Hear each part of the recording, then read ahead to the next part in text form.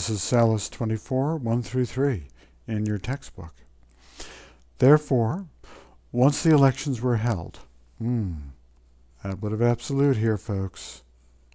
Love this.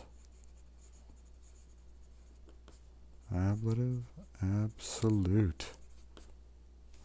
This baby here, P, P, P, the perfect passive participle. We've been doing a lot of work with participles and infinitives, so watch that one. Watch that one. Once those elections were held, consuls were declared Marcus Tullius and Gaius Antonius.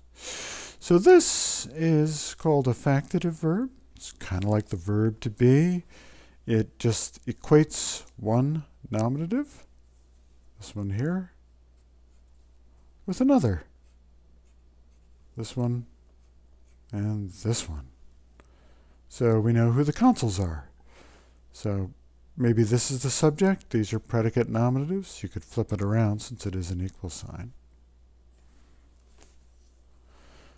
This action, okay, so I know this means which, but when it starts a sentence, we're going to say this. This action at first shocked the conspirators populares. And populares, you know, that's our special term.